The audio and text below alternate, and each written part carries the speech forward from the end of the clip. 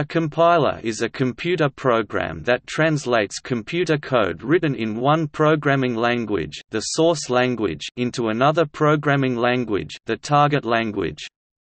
The name compiler is primarily used for programs that translate source code from a high-level programming language to a lower-level language e.g., assembly language, object code, or machine code to create an executable program, however, there are many different types of compilers. If the compiled program can run on a computer whose CPU or operating system is different from the one on which the compiler runs, the compiler is a cross-compiler. A bootstrap compiler is written in the language that it intends to compile. A program that translates from a low-level language to a higher-level one is a decompiler. A program that translates between high-level languages is usually called a source-to-source -source compiler or transpiler. A language rewriter is usually a program that translates the form of expressions without a change of language. The term compiler-compiler refers to tools used to create parsers that perform syntax analysis. A compiler is likely to perform many or all of the following operations, preprocessing, lexical analysis, parsing, semantic analysis syntax-directed translation, conversion of input programs to an intermediate representation, code optimization and code generation. Compilers implement these operations in phases that promote efficient design and correct transformations of source input to target output. Program faults caused by incorrect compiler behavior can be very difficult to track down and work around, therefore, compiler implementers invest significant effort to ensure compiler correctness. Compilers are not the only language processor used to transform source programs. An interpreter is computer software that transforms and then executes the indicated operations. The translation process influences the design of computer languages which leads to a preference of compilation or interpretation. In practice, an interpreter can be implemented for compiled languages and compilers can be implemented for interpreted languages.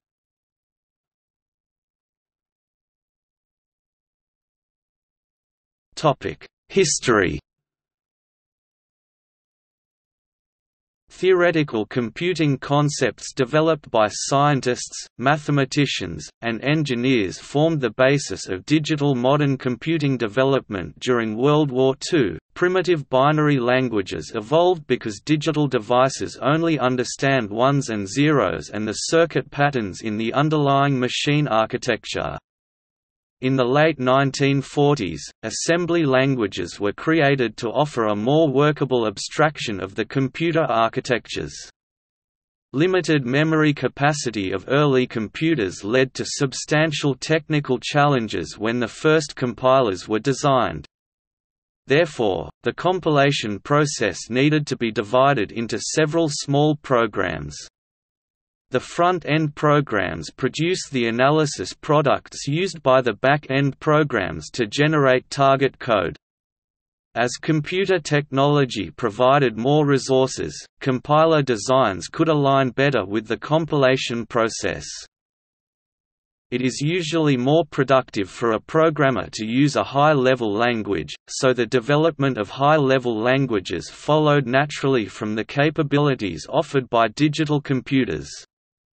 High-level languages are formal languages that are strictly defined by their syntax and semantics which form the high-level language architecture.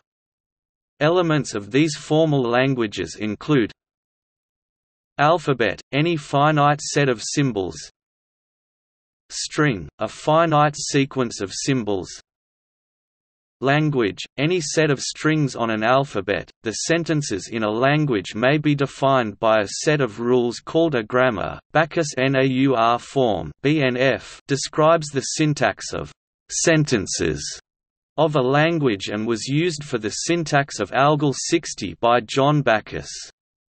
The ideas derive from the context-free grammar concepts by Noam Chomsky, a linguist. BNF and its extensions have become standard tools for describing the syntax of programming notations, and in many cases parts of compilers are generated automatically from a BNF description. In the 1940s, Konrad Zuse designed an algorithmic programming language called Plankalkul plan calculus", while no actual implementation occurred until the 1970s, it presented concepts later seen in APL designed by Ken Iverson in the late 1950s. APL is a language for mathematical computations. High-level language design during the formative years of digital computing provided useful programming tools for a variety of applications, Fortran formula translation for engineering and science applications is considered to be the first high-level language. COBOL common business-oriented language evolved from A0 and Flowmatic to become the dominant high-level language for business applications. Lisp, Lisp processor for symbolic computation, compiler technology evolved from the need for a strictly defined transformation of the high-level source program into a low-level target program for the digital computer. The compiler could be viewed as a front end to deal with the analysis of the source code and a back end to synthesize the analysis into the target code. Optimization between the front end and back end could produce more efficient target code. Some early milestones in the development of compiler technology 1952 An autocode compiler developed by Alec Glennie for the Manchester Mark I computer at the University of Manchester is considered by some to be the first compiled programming language. 1952 Grace Hopper's team at Remington Rand wrote the compiler for the A0 programming language and coined the term compiler to describe it, although the A0 compiler functioned more as a loader or linker than the modern notion of a full compiler. Nineteen fifty-four to nineteen fifty-seven, A team led by John Backus at IBM developed Fortran which is usually considered the first high-level language, in 1957, they completed a Fortran compiler that is generally credited as having introduced the first unambiguously complete compiler. 1959 The Conference on Data Systems Language initiated development of COBOL. The COBOL design drew on A0 and Flowmatic. By the early 1960s COBOL was compiled on multiple architectures. 1958–1962 John McCarthy at MIT designed Lisp. The symbol processing capabilities provided useful features for artificial intelligence research. In 1962, Lisp 1.5 release noted some tools, an interpreter written by Stephen Russell and Daniel J. Edwards, a compiler and assembler written by Tim Hart and Mike Levin. Early operating systems and software were written in assembly language. In the 60s and early 70s, the use of high-level languages for system programming was still controversial due to resource limitations. However, several research and industry efforts began the shift toward high-level systems programming languages, for example, BCPL, BLISS, B, and C. BCPL Basic Combined Programming Language designed in 1966 by Martin Richards at the University of Cambridge was originally developed as a compiler writing tool. Several compilers have been implemented. Richard's book provides insights to the language and its compiler. BCPL was not only an influential systems programming language that is still used in research but also provided a basis for the design of B and C languages. BLISS Basic Language for Implementation of System Software was developed for a Digital Equipment Corporation PDP-10 computer by W.A. Wulf's Carnegie Mellon University CMU research team. The CMU team went on to develop Bliss 11 compiler one year later in 1970. Multics Multiplexed Information and Computing Service, a time-sharing operating system project, involved MIT, Bell Labs, General Electric later Honeywell, and was led by Fernando Corbato from MIT. Multics was written in the Place, I language developed by IBM and IBM User Group. IBM's goal was to satisfy business, scientific, and systems programming requirements. There were other languages that could have been considered but Place, I offered the most complete solution even though it had not been implemented.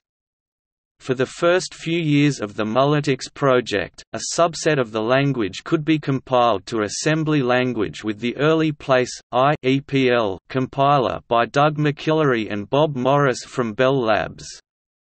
EPL supported the project until a bootstrapping compiler for the full place, I could be developed. Bell Labs left the Multics project in 1969.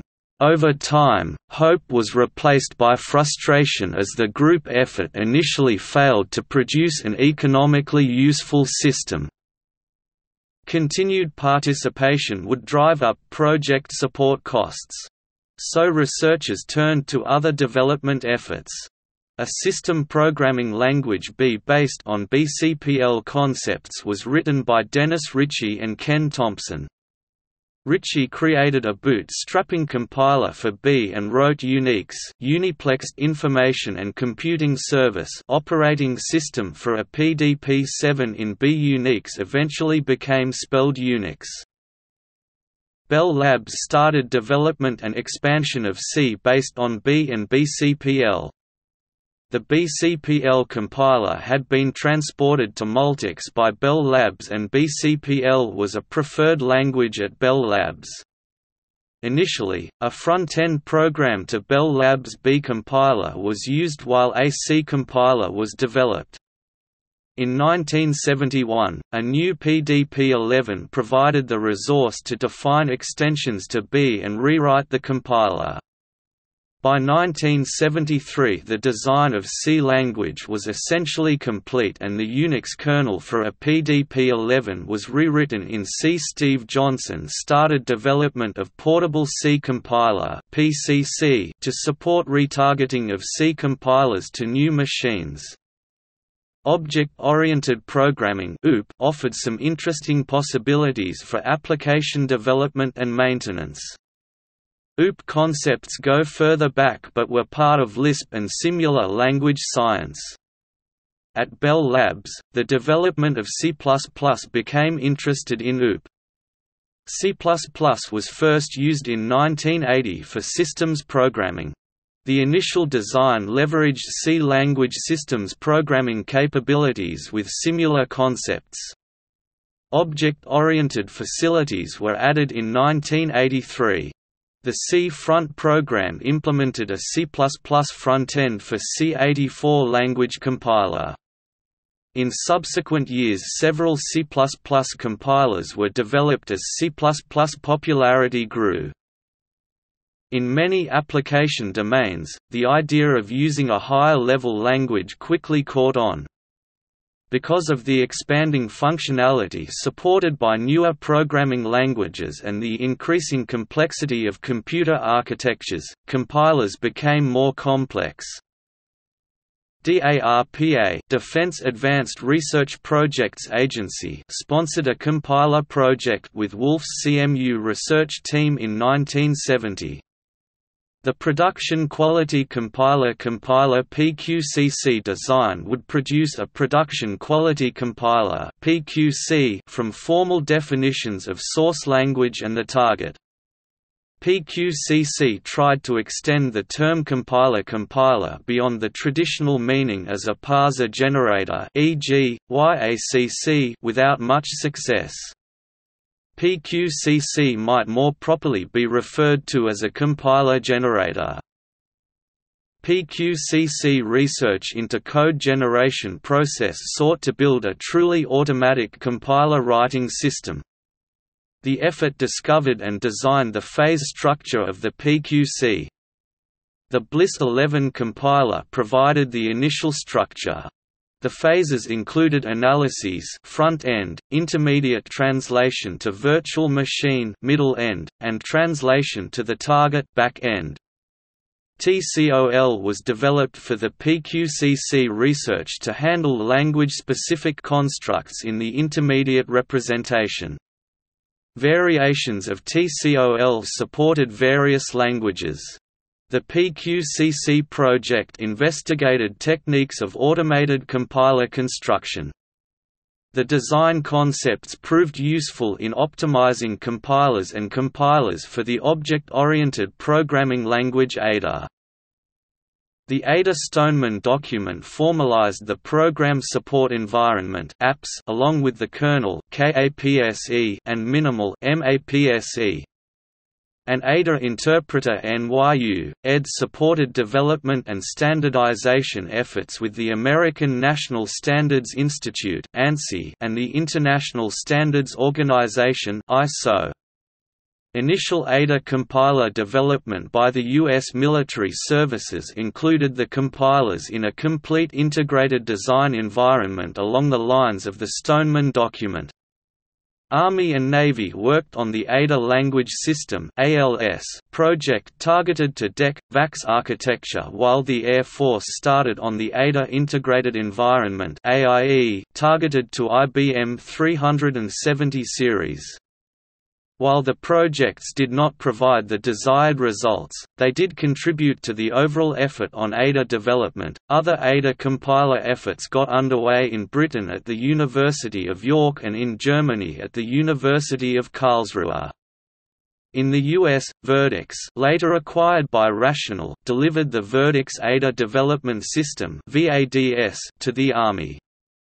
VADS provided a set of development tools including a compiler. Unix, VADS could be hosted on a variety of Unix platforms such as DEC Ultrix and the Sun 360th Solaris targeted to Motorola 68020 in an Army CECOM evaluation. There were soon many Ada compilers available that passed the Ada validation tests. The Free Software Foundation GNU project developed the GNU Compiler Collection (GCC), which provides a core capability to support multiple languages and targets. The Ada version GNAT is one of the most widely used Ada compilers. GNAT is free but there is also commercial support, for example, AdaCore, was founded in 1994 to provide commercial software solutions for Ada. GNAT Pro includes the GNU GCC-based GNAT with a tool suite to provide an integrated development environment. High-level languages continued to drive compiler research and development. Focus areas included optimization and automatic code generation. Trends in programming languages and development environments influenced compiler technology. More compilers became included in language distributions Perl, Java Development Kit and as a component of an IDE VADS, Eclipse, Ada Pro. The interrelationship and interdependence of technologies grew. The advent of web services promoted growth of web languages and scripting languages. Scripts trace back to the early days of command line interfaces where the user could enter commands to be executed by the system. User shell concepts developed with languages to write shell programs. Early Windows designs offered a simple batch programming capability. The conventional transformation of these language used an interpreter. While not widely used, bash and batch compilers have been written.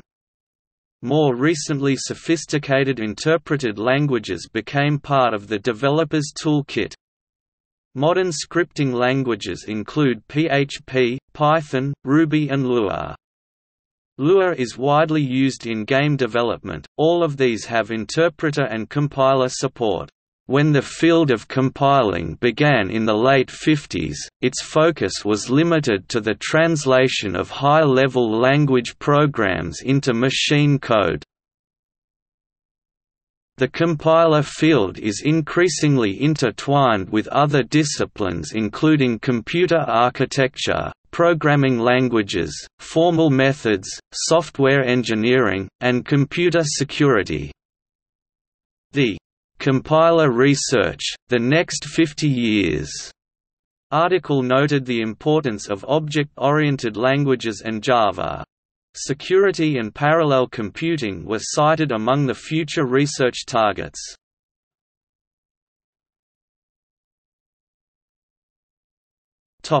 Compiler construction A compiler implements a formal transformation from a high-level source program to a low-level target program.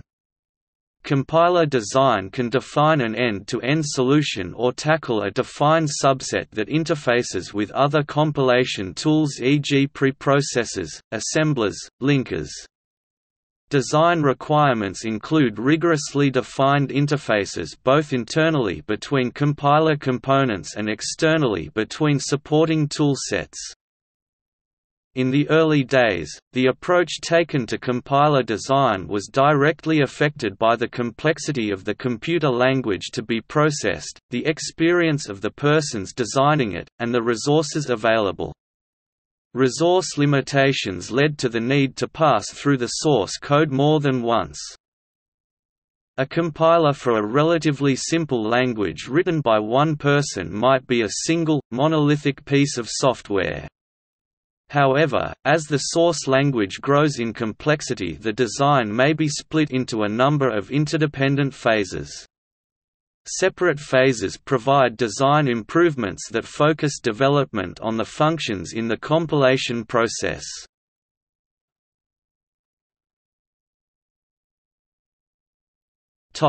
One-pass versus multi-pass compilers Classifying compilers by number of passes has its background in the hardware resource limitations of computers. Compiling involves performing lots of work and early computers did not have enough memory to contain one program that did all of this work. So compilers were split up into smaller programs which each made a pass over the source or some representation of it performing some of the required analysis and translations. The ability to compile in a single pass has classically been seen as a benefit because it simplifies the job of writing a compiler and one-pass compilers generally perform compilations faster than multi-pass compilers. Thus, partly driven by the resource limitations of early systems, many early languages were specifically designed so that they could be compiled in a single pass e.g., Pascal, in some cases the design of a language feature may require a compiler to perform more than one pass over the source. For instance, consider a declaration appearing on line 20 of the source which affects the translation of a statement appearing on line 10. In this case, the first pass needs to gather information about declarations appearing after statements that they affect, with the actual translation happening during a subsequent pass. The disadvantage of compiling in a single pass is that it is not possible to perform many of the sophisticated optimizations needed to generate high-quality code. It can be difficult to count exactly how many passes an optimizing compiler makes. For instance, different phases of optimization may analyze one expression many times but only analyze another expression once. Splitting a compiler up into small programs is a technique used by researchers interested in producing provably correct compilers. Proving the correctness of a set of small programs often requires less effort than proving the correctness of a larger, single, equivalent program.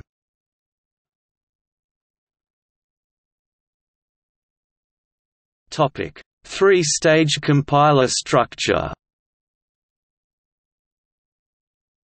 Regardless of the exact number of phases in the compiler design, the phases can be assigned to one of three stages.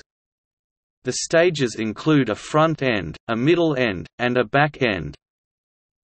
The front end verifies syntax and semantics according to a specific source language. For statically typed languages it performs type checking by collecting type information.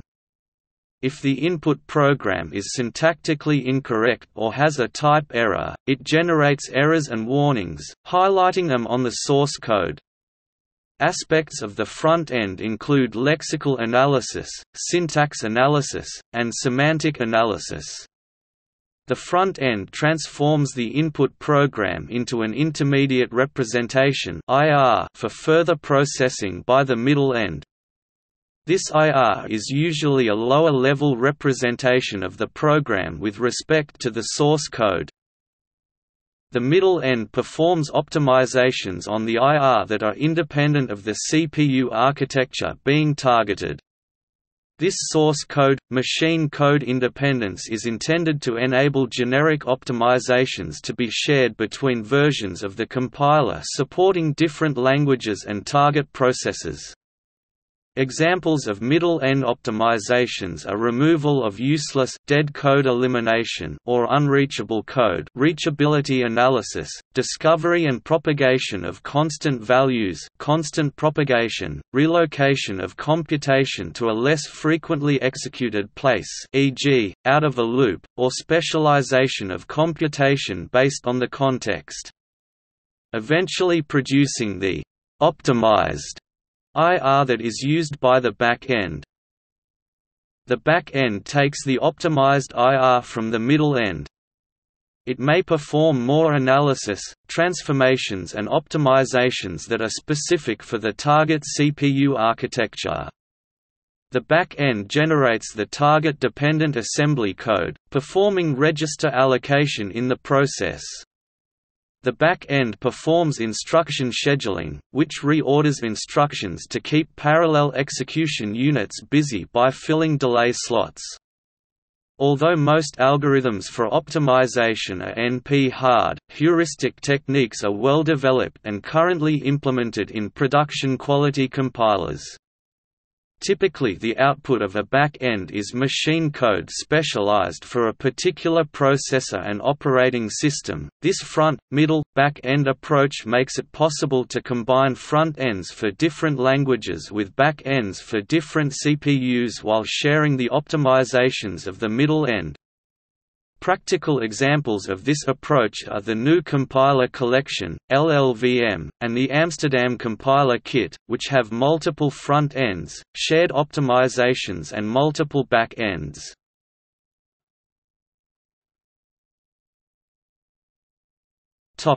Front end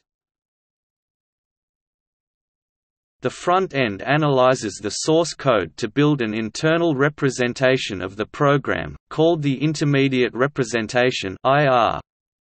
It also manages the symbol table, a data structure mapping each symbol in the source code to associated information such as location, type and scope. While the front-end can be a single monolithic function or program, as in a scannerless parser, it is more commonly implemented and analyzed as several phases, which may execute sequentially or concurrently. This method is favored due to its modularity and separation of concerns.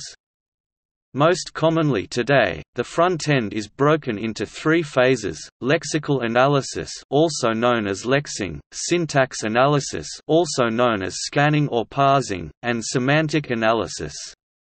Lexing and parsing comprise the syntactic analysis word syntax and phrase syntax, respectively, and in simple cases these modules the lexer and parser can be automatically generated from a grammar for the language, though in more complex cases these require manual modification. The lexical grammar and phrase grammar are usually context-free grammars, which simplifies analysis significantly, with context sensitivity handled at the semantic analysis phase. The semantic analysis phase is generally more complex and written by hand, but can be partially or fully automated using attribute grammars.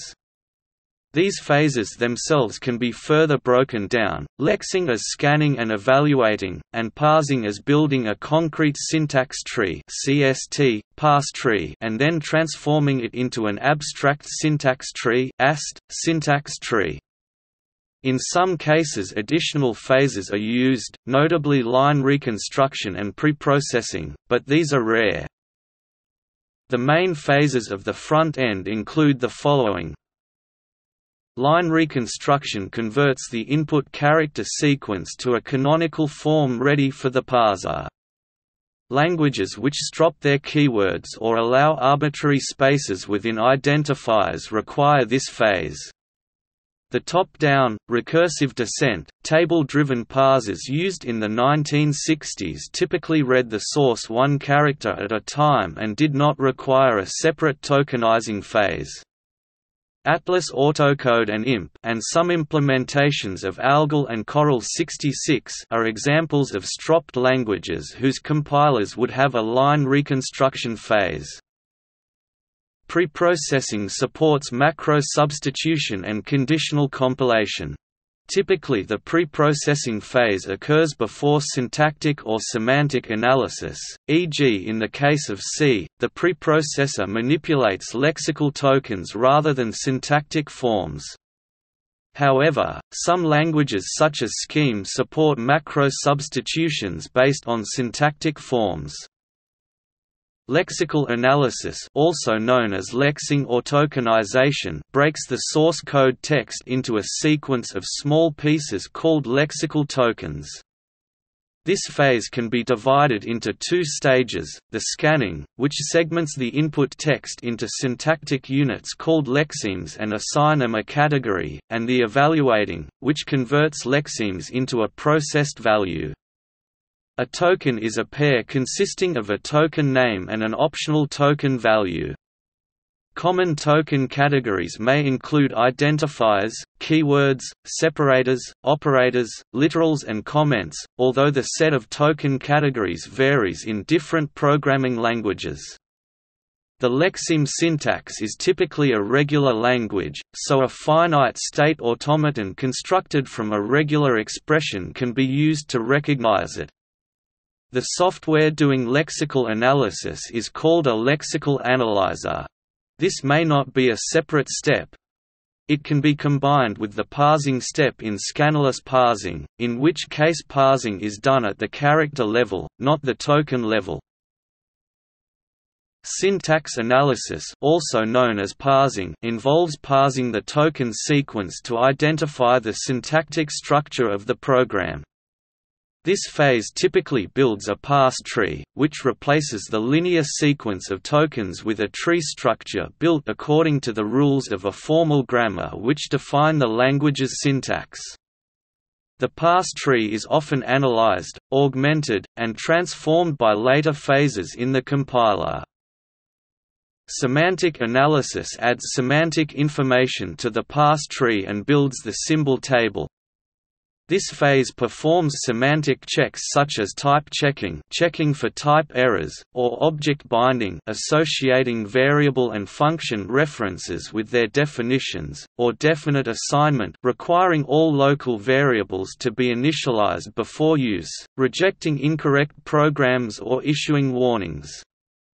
Semantic analysis usually requires a complete parse tree, meaning that this phase logically follows the parsing phase, and logically precedes the code generation phase, though it is often possible to fold multiple phases into one pass over the code in a compiler implementation.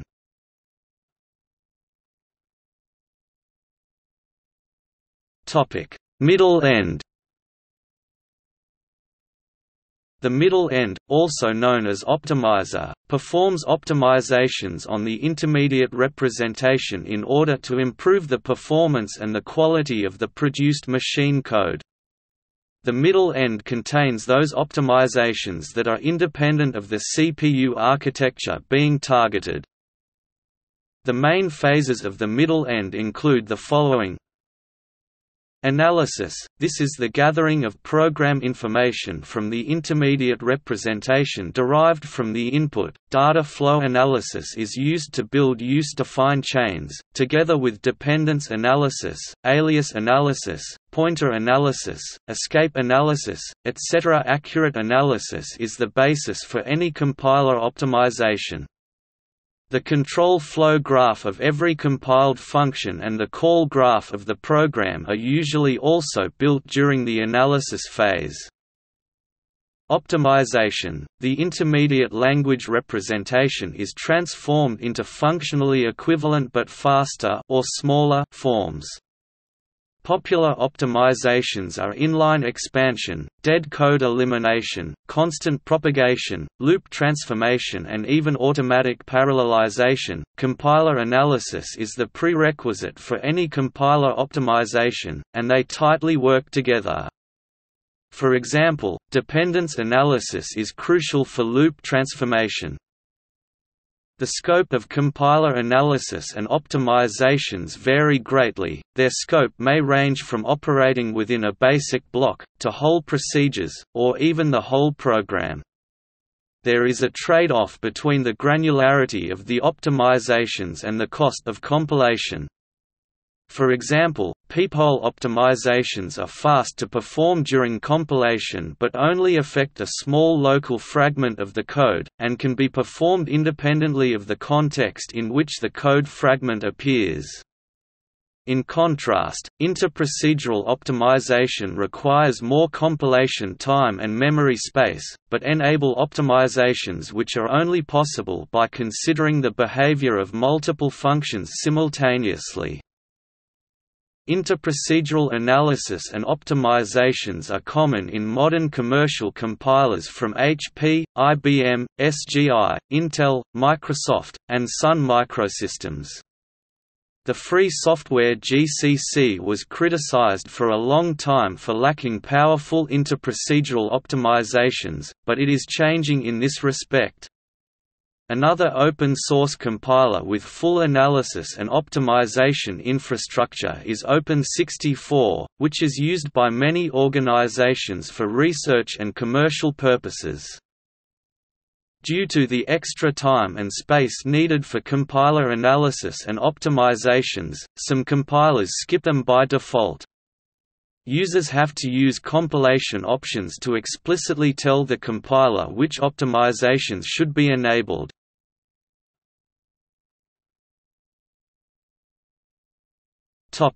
Back end. The back end is responsible for the CPU architecture-specific optimizations and for code generation. The main phases of the back end include the following Machine-dependent optimizations – optimizations that depend on the details of the CPU architecture that the compiler targets. A prominent example is peephole optimizations, which rewrites short sequences of assembler instructions into more efficient instructions. Code generation – The transformed intermediate language is translated into the output language, usually the native machine language of the system, this involves resource and storage decisions, such as deciding which variables to fit into registers and memory and the selection and scheduling of appropriate machine instructions along with their associated addressing modes see also Sethi-Ullman algorithm. Debug data may also need to be generated to facilitate debugging.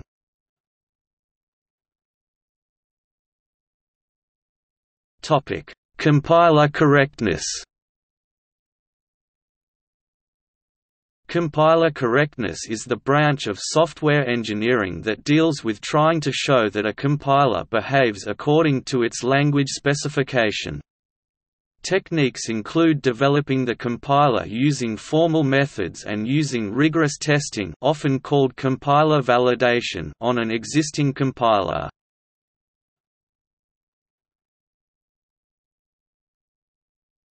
Topic: Compiled versus interpreted languages Higher-level programming languages usually appear with a type of translation in mind, either designed as compiled language or interpreted language. However, in practice there is rarely anything about a language that requires it to be exclusively compiled or exclusively interpreted, although it is possible to design languages that rely on reinterpretation at run time. The categorization usually reflects the most popular or widespread implementations of a language.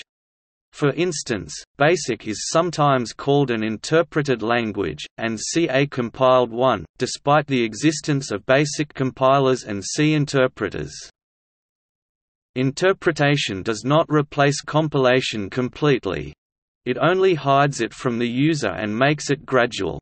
Even though an interpreter can itself be interpreted, a directly executed program is needed somewhere at the bottom of the stack see machine language. Further, compilers can contain interpreters for optimization reasons. For example, where an expression can be executed during compilation and the results inserted into the output program, then it prevents it having to be recalculated each time the program runs, which can greatly speed up the final program. Modern trends toward just-in-time compilation and bytecode interpretation at times blur the traditional categorizations of compilers and interpreters even further. Some language specifications spell out that implementations must include a compilation facility, for example, Common Lisp. However, there is nothing inherent in the definition of Common Lisp that stops it from being interpreted. Other languages have features that are very easy to implement in an interpreter, but make writing a compiler much harder, for example, APL, SNOBOL4, and many scripting languages allow programs to construct arbitrary source code at runtime with regular string operations, and then execute that code by passing it to a special evaluation function. To implement these features in a compiled language, programs must usually be shipped with a runtime library that includes a version of the compiler itself.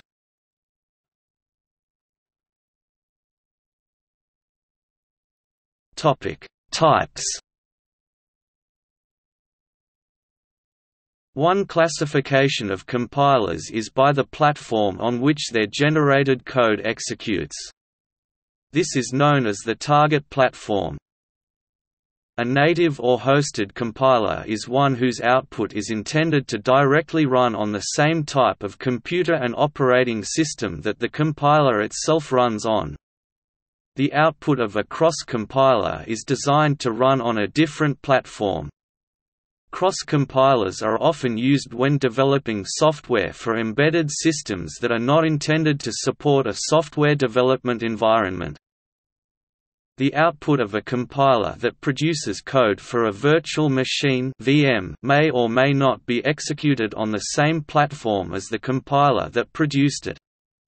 For this reason such compilers are not usually classified as native or cross-compilers. The lower-level language that is the target of a compiler may itself be a high-level programming language. C, often viewed as some sort of portable assembler, can also be the target language of a compiler. E.g., Cfront, the original compiler for C++ used C as target language. The C created by such a compiler is usually not intended to be read and maintained by humans. So indent style and pretty C intermediate code are irrelevant, some features of C turn it into a good target language. E.g., C code with hash tagline directives can be generated to support debugging of the original source. While a common compiler type outputs machine code, there are many other types.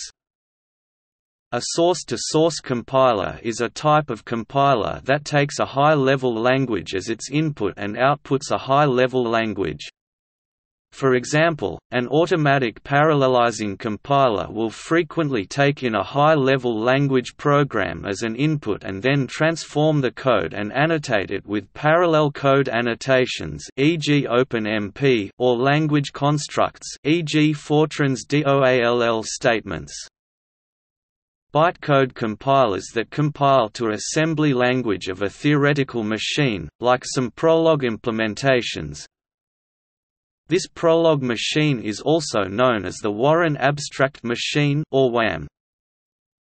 Bytecode compilers for Java, Python are also examples of this category. A just-in-time compiler, JIT compiler defers compilation until runtime. JIT compilers exist for many modern languages including Python, JavaScript, Smalltalk, Java, Microsoft, Net's Common Intermediate Language and others. A JIT compiler generally runs inside an interpreter. When the interpreter detects that a code path is hot, meaning it is executed frequently, the JIT compiler will be invoked and compile the hot Code for increased performance for some languages, such as Java, applications are first compiled using a bytecode compiler and delivered in a machine-independent intermediate representation.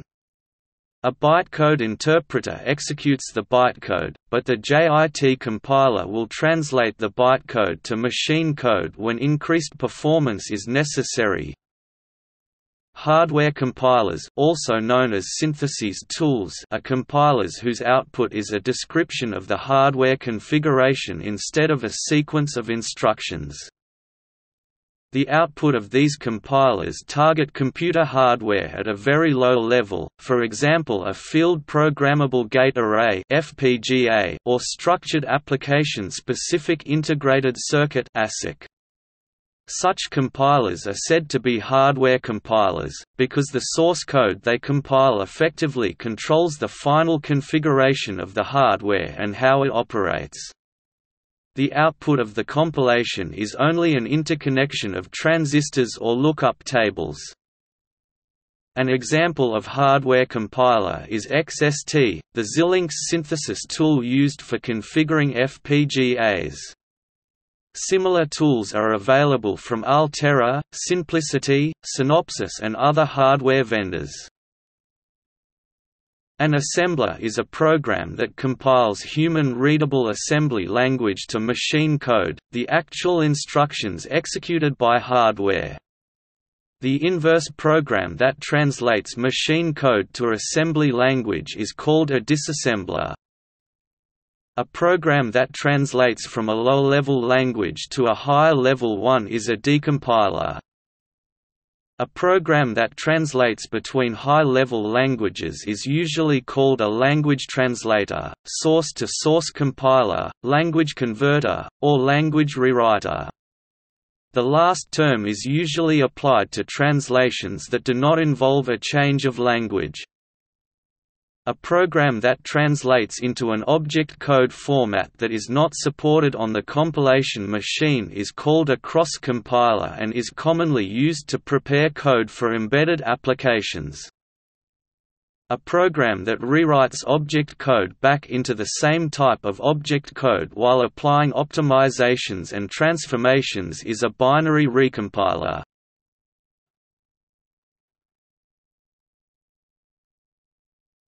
Topic. See also equals equals notes